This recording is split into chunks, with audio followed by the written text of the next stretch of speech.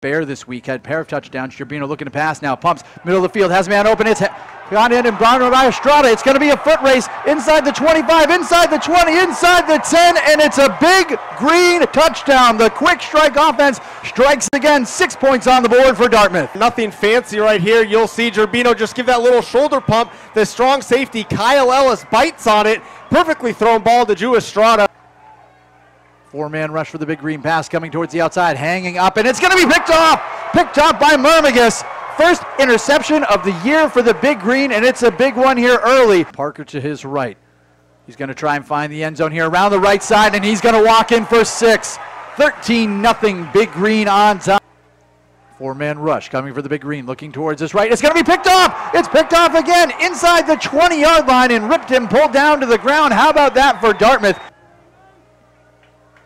Kyler looking, pressure, rolling, left. Just going to tuck it and run, and guess what? He's into the end zone with his feet. Six more points on the board for the Big Green on third down and goal to go from 12 yards out. Rawlings looking, pressure, backside, rolling. Rawlings looking, flag flies, wrapped up by Trainer and pulled down. Also in on the tackle is Nico Lelos. This is going to be about a 42 yarder. Snap, hold is down, kick is up, it is on the way, it's got the distance, it is through and good.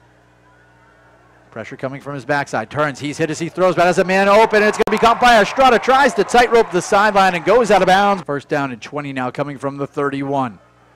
Kyler looking, middle of the field, wide open is Hagdorn, and he's in for six. Derek Kyler, 31 yards on the touchdown, straight to Hunter Hagdorn.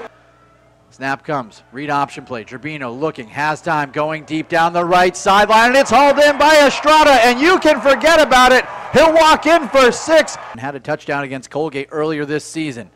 Handoff here. Whole right side. Dakari Falconer is in. Alan Lamar in the backfield next to Rawlings. Handoff goes Lamar, runs right into the line. It's going to depend on the spot. This one's going to be close, and you've still got your starters flying around because they don't want to give up that first, and it's short. It's short by a good margin as well. And you can hear it being announced right now in a good hand from the crowd. Coach Buddy Teevens, 100 career victories. You see him jogging across the field right there. Only the second coach in Dartmouth football history to reach the century mark. Now four behind Bob Blackman for the all-time program record and wins, but an outstanding win for this Dartmouth football squad here today. So congratulations to them. Congratulations to Coach Teevens as well and what he's been able to accomplish here in the Upper Valley. Dartmouth right now has got to be the favorite to be winning the Ivy League championship. The